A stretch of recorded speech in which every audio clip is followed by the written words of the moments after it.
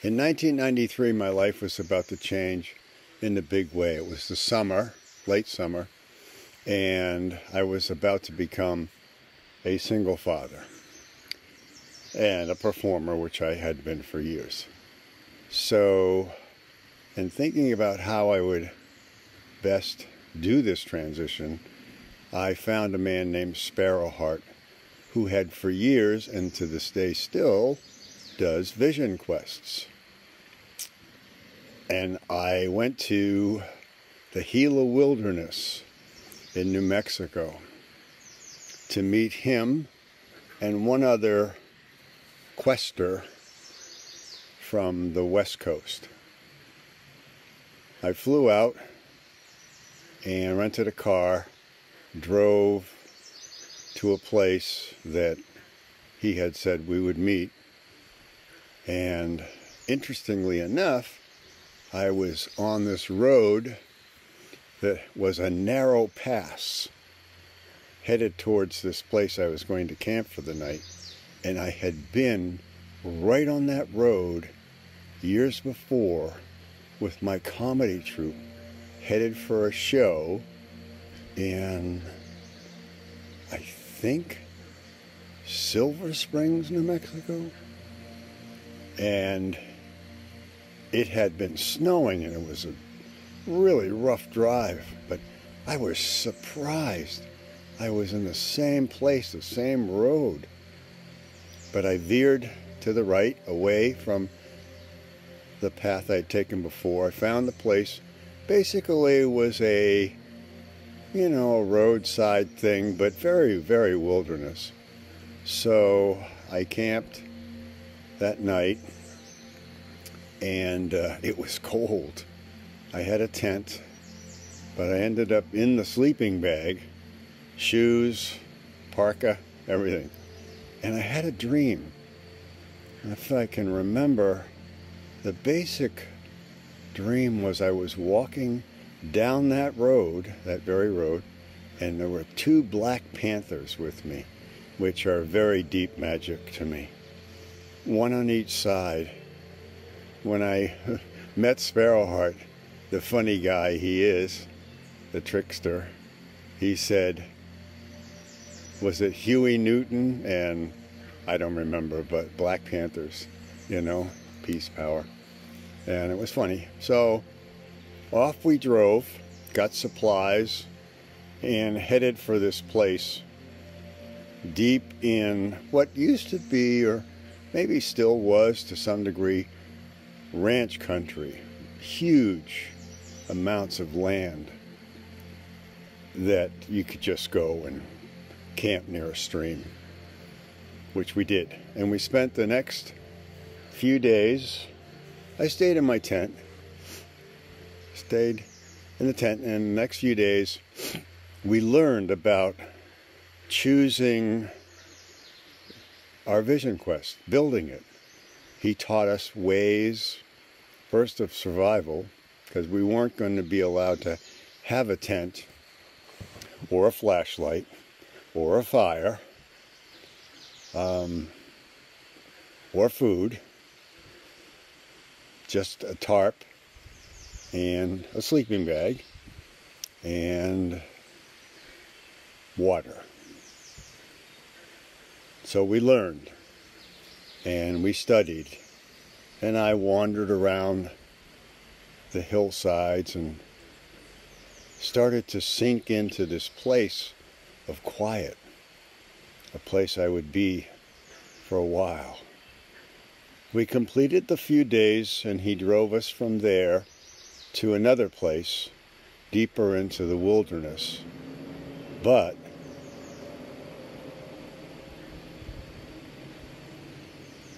You didn't hear those sounds.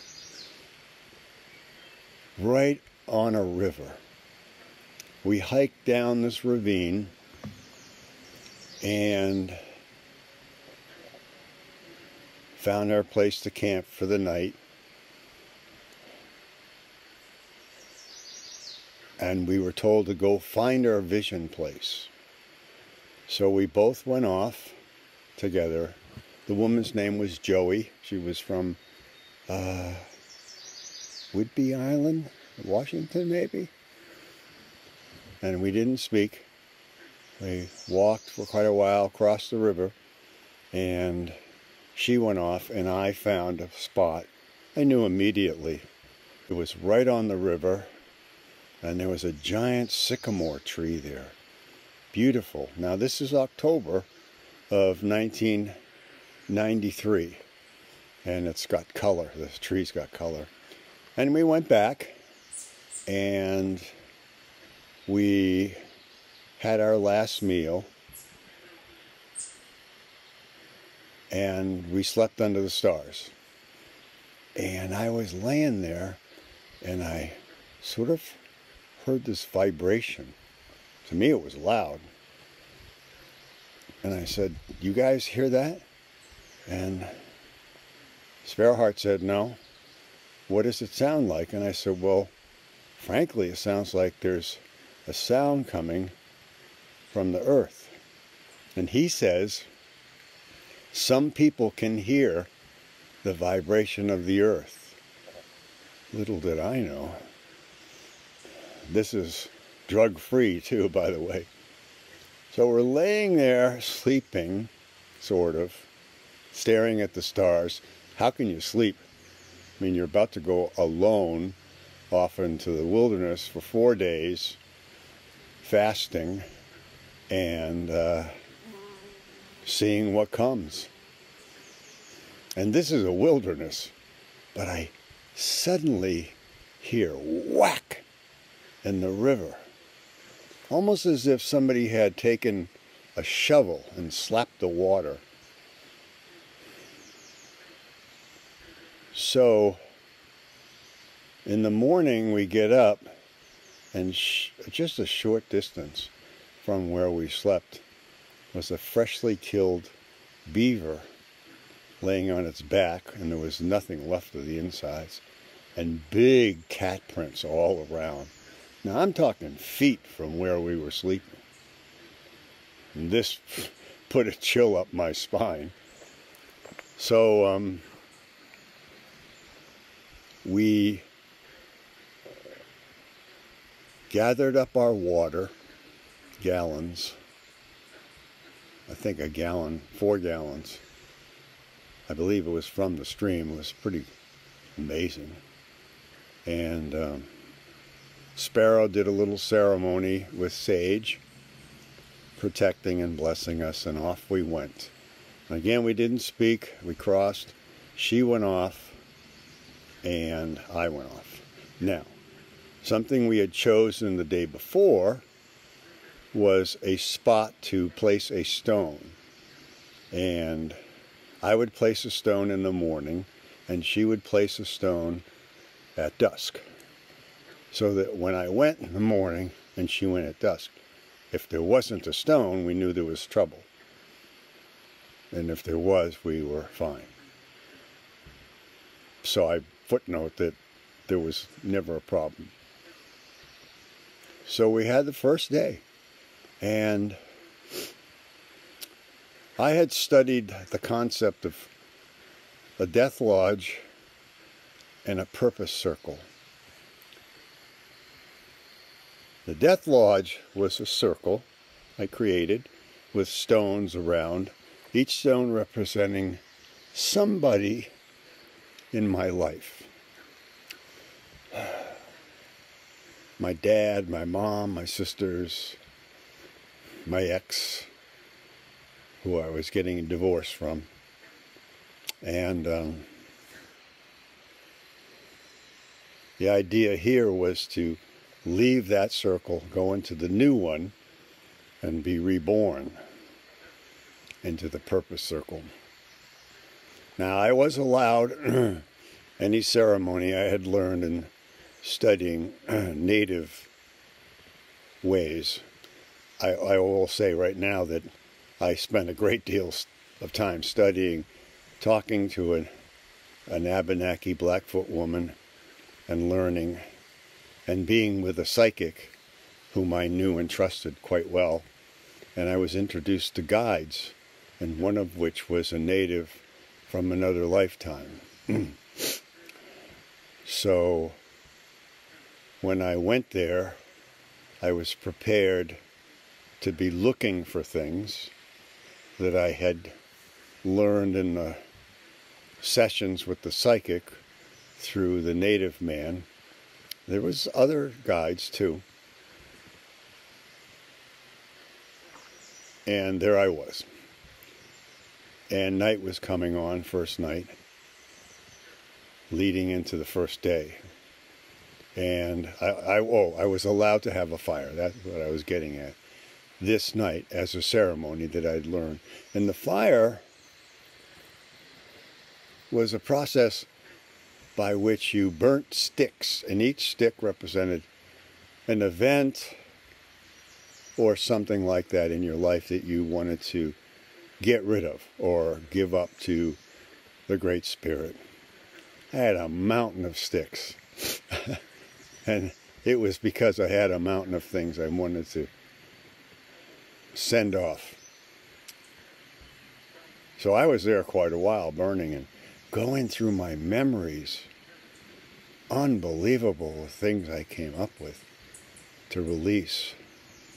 And after I was done, I had um, a knife that was made in the way knives were made in the 1700s and 1800s. They had varying things that were on, authentically made. There's a man named traveling medicine dog that made this knife. And I put it in the fire. and one of the one of the things you could do was to do a scarring, burn something into your skin as a memory of that particular day and that event that would stay with you. My name that I was given in a, an epiphany, I must say, a while back. I used to do pipe ceremony, and one of the pipes that Traveling Medicine Dog made was a replica of a Pocumtuck pipe that was dug up in the Deerfield, Massachusetts area, and it had a little bear on the bowl on the front, kind of looking into the bowl and you would do ceremony to the directions. Six directions. So the knife is in the fire and it glows hot and I um, put a symbol of my name, which I'm not going to speak, on my arm. And actually it's weird because it didn't hurt. I don't know if you can still see it. Oh, you can. There it is. Yep. And you can try to figure out what that was. Because I'm not going to tell you. Some things aren't spoken to other people publicly. So I burnt it. I stepped into the purpose circle and I slept there that night, my first night, and you gotta know this is a place you check your shoes for scorpions and there's rattlesnakes and there's bears there's javelinas there's mountain lions you name it it's there so I'm a little freaked. I was worried going there. I was worried on the plane. Here was my first night. So I slept. I got up, and there's this dead snake a few feet from where I had slept. So I started wandering around. I had my jugs of water. First day, no food. You know, I was getting hungry through the day. And I climbed this little hill and sat in the sun. The nights were cold. The days were, I don't know, probably 60s. And I was sitting there thinking about my mother and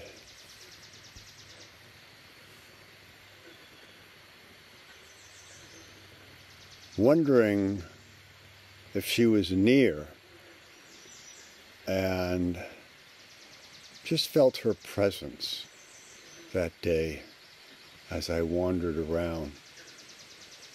Yeah, I was kind of happy I was a way I could just be. I could feel my mother around me. I could sense her. Lots of thoughts were starting to come through my head. And that's about all I remember of that first day. The second day, I'm getting hungry, and my dreams are nuts. I mean, all kinds of vivid, vivid stuff which I journaled. But I do remember dreaming of a pizza. Oh man, I could smell it in the dream. I was hungry. So I crossed the stream, the brook, the river. It was up to my knees in some spots. It was really nice because it was warm, you know, I could lay in the water, just lay there. It's cold. So I found this um, a dry kind of stream bed. I followed along the way, and it led to an abandoned silver mine. On the way, things started to come to me. And based on the relationship I had with my father, that was one of the first things that was coming out. Now, he and I became friends at the end of his days through my doings. But we had turmoil, and I wasn't happy for a lot a lot of the time. And I got really angry on this walk. And I started picking up giant boulders and smashing them. Anger. Angry as hell that I wasn't treated the way I thought a young son should be treated by the father, you know. Camping trips, fishing, you know, I love you. Read a story, tell a tale. I got a little of the tale telling. I got a bunch of tale telling about his life. I did, interestingly enough. And he was sad. He was hurt by his parents physically and emotionally. And he didn't know how to stop it. So he kind of passed it on to me. And it was up to me to get rid of it, end that guy, and move on. So I kept walking, and you got to understand that it's a vision quest has events that happen, but for the most part, it's like the ending of the first movie called The Incredible Shrinking Man. At the very end, this is a black and white movie. I loved it. At the very end, no one could see him anymore. He was so small. And he'd found his way out to the front lawn and what were blades of grass looked like trees. And that's the way you feel on a vision quest, for the most part. You feel at first you're a foreigner in a foreign land, but then you feel you're a part of it, you're a part of everything. And so the experience that I would relate would just be being, just being. So I go up to this mine and I walk in a little bit and realize there's nothing for me there. All through the vision quest, I got a sense as to where to go. And uh, I started back. On the way back, in the stream, the dry stream, stream bed, is a dead owl, and it's warm, and it's not stiff, and it's daytime. Now, owl is a purveyor of wisdom, Um, people think they're magical. The natives call them the deceiver feathers. Their wings are called deceiver feathers because they don't make any noise. So they can hunt at night and their eyes can see in the dark. So this is profound to me. So I took and I cut it up. Sorry, but I did. And I took the wings because those are really revered things in the native world. And I would take them home with me. So that was end of day two. And day three, I spent just being near the space I was, being near the river. And I was sitting there and a bald eagle flew by very close to me too. And then a herd of javelinas. They're little wild boars. And they can be aggressive. I didn't budge. They were making all kinds of noise going all over the place. And I said, when they left, I said, oh, I'll take a little jaunt then. And I found this cliff. If you looked up, it would look like a cliff, and I was pretty adept at climbing without ropes and stuff. So I climbed up, it took a while, and when I got to the very top was a flat spot, and there were tracks of a bear right by my hand, and I looked straight, and it was a perfectly shaped, right out of uh, Doonesbury bear cave. And I'm looking right at it. And I'm thinking, you know, who's home? So I went down very quickly and I went back to camp. Now, you also have to remember that I'm not going back to my notes. There's more that happened, but these were the important moments. And I was really getting hungry now. So we were supposed to be there four days, and uh, four four nights. I guess it turns out. But the last day is the big day, and fortunately for you, I'm cutting this thing to the quick. Now, remember I said that there was a native in the readings by this medium that I went to, and he taught me a thing. He said, I would see a purple bird. Look for the purple bird. So the last day, I take off and I'm walking.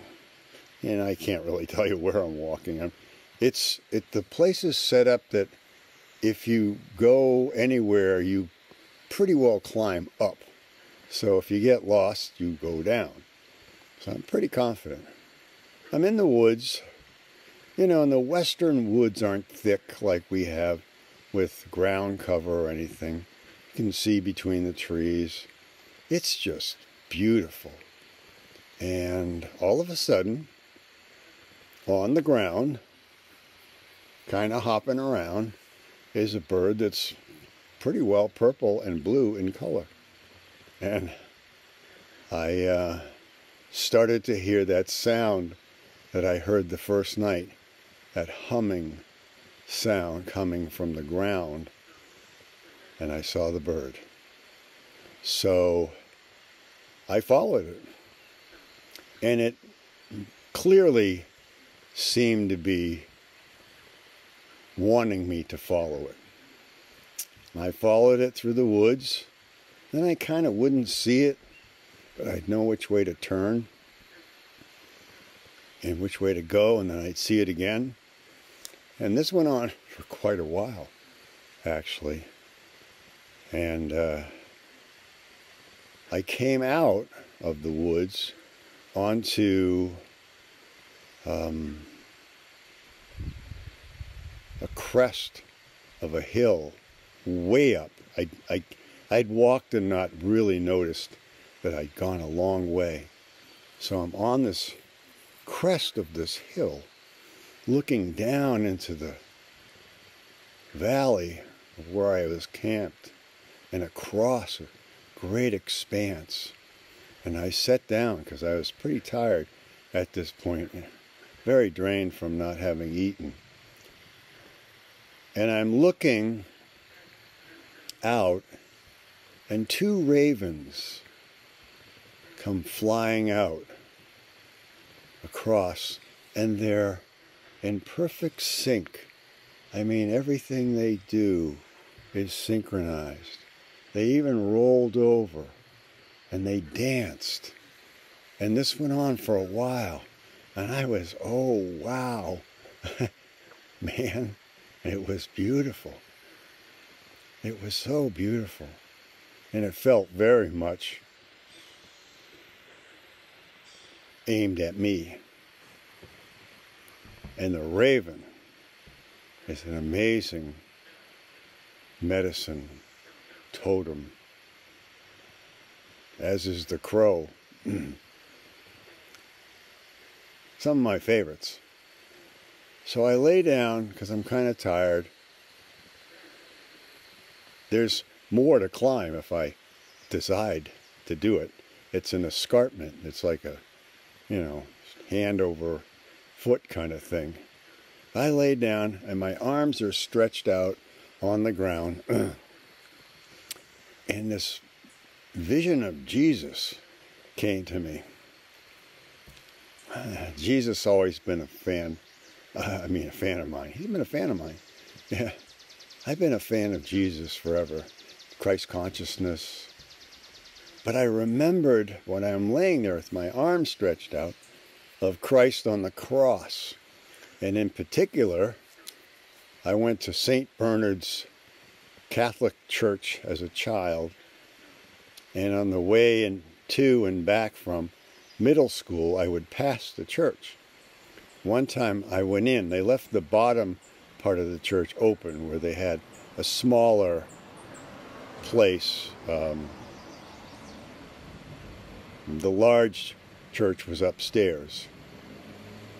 So I went in and uh, I went up to the front and kneeled and or knelt and prayed and they had um, these votives, little candles, and you light them for people that have passed or pretty much something like that. That's actually where you did your penance. When you went to confession, you went up and knelt and said your five Our Fathers or five Hail Marys, depending on how bad you were. But you were supposed to pay, I can't remember, a quarter a nickel, something, to light the votive. And there was a little box with a chain on it, a little chain locking it shut, little metal box. It really looked like something from medieval times, you know. Pay to pray. I didn't pay. I, I prayed anyway. So I was alone down there, and I'm leaving and I'm leaving. I'm going out the foyer, and uh, there's a big statue of Christ on the wall. I guess I'd seen it before. I must have. It was huge. And Jesus was quite buff, actually. And he had the dripping blood from his hands, his side, his feet. And he looked unhappy. So I I looked at him and I said, Why would you do this? Why would you go through this? And that image came back to me because I was laying on the ground with my arms outstretched. So the whole journey became this thing where beacons of meaning through my life. I mean, I went absolutely through a whole lot of my life. for those four days. And I looked up at the escarpment and said, Now, please, I'm tired and I'm hungry. I want to go home. And I am. I climbed it. Up, up, up, up. I'm like what now? 46. And uh, very good shape. Very, very good shape. Except I had a bad back at that time. And I'd uh, I trained in Taekwondo and I had to take time off because my back was hurting and when I was performing it got in the way. I actually fell. I was on a table standing on a rola bola, you know, the little cylinder and juggling and just like God just swiped me and I went up in the air, slammed on the table, fell down, and went quiet. This was a great show too. Ah, I was, and I was passing the hat besides being paid, and I got a hundred bucks in the hat because when I popped up, I made like I didn't get hurt. And they went, yay! But I had this problem. So I'm climbing up the escarpment. I get to the top. This is another get to the top one. Put my hands, pull myself up, and whoa, almost right in my face, a flock of doves come flying out. And I almost went ass over tea kettle down the hill, down the mountain. But I didn't. So I got up, I sat, and I could really see. I could actually see so far as to, to see people on a road way far away, which I didn't like. I didn't want to have anything in my vision that reminded me of humanity. But though they were there. And I could see down towards where I was camped and I could see a pinnacle stuck down the hill quite a ways. Pinnacle, this one, if, if you made a giant chimney out of stone and stuck it somewhere, that's what this thing looked like. So I'm sitting there thinking, you know, it's the last day, my night's coming, the night you stay up all night and you stay in your purpose circle. You're not allowed to leave it from dawn, no, dusk till dawn, and cry for visions. So I'm there thinking, what, what is all, what have I learned? What is this thing? And I look next to me, this is all stone, and there's this little pine tree growing up out of a stone. And I went, wow, the heck are you doing up here? It was sort of a question I had just asked myself. What the heck are you doing up here? So, um, I don't know. I don't get it, I say. So I climb down. I'm walking back, headed for my day. This is, this is still around noon. And uh, it dawned on me that the tree had a story to tell, which was if I can do this and I can survive, you can do what you need to do and you can survive. And that just went boom in my brain. So I go down and I see this pinnacle and I climb up because kind of three quarters of the way up is a little spot you can climb into and sit.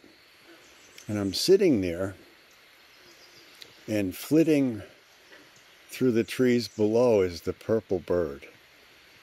And it kind of looked at me and flew away. So I went down, I went back to my spot, and we still had an afternoon yet. Now it's October, so dark came a little earlier, you know. So I'm bored. I'm ready. I get in the circle, I don't know, five hours, six hours early before sun sunsets, and I start doing yoga. And I lay there and I decide I'm going to think of every thought and thing that's happened to me that I can remember starting from day one.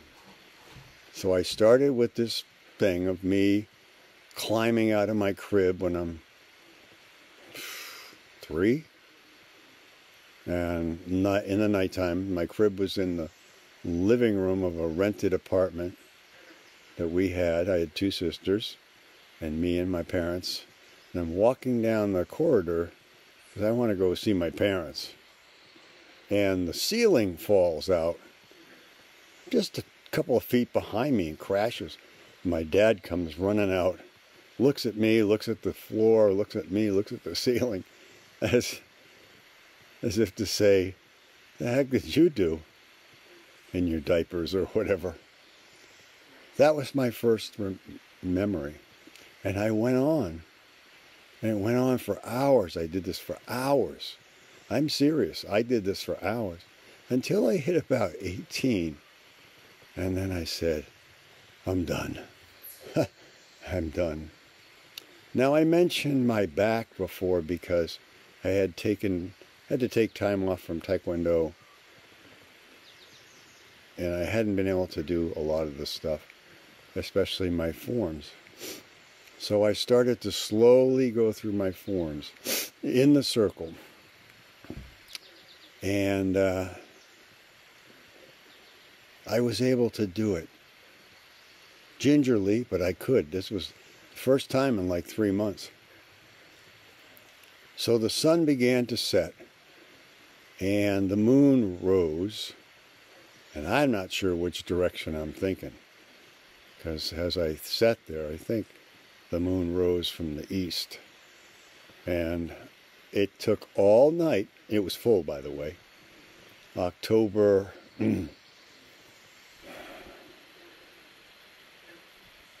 30th, 1993.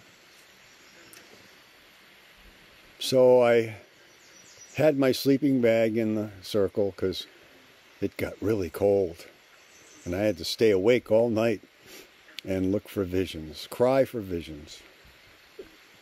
So I'm sitting there,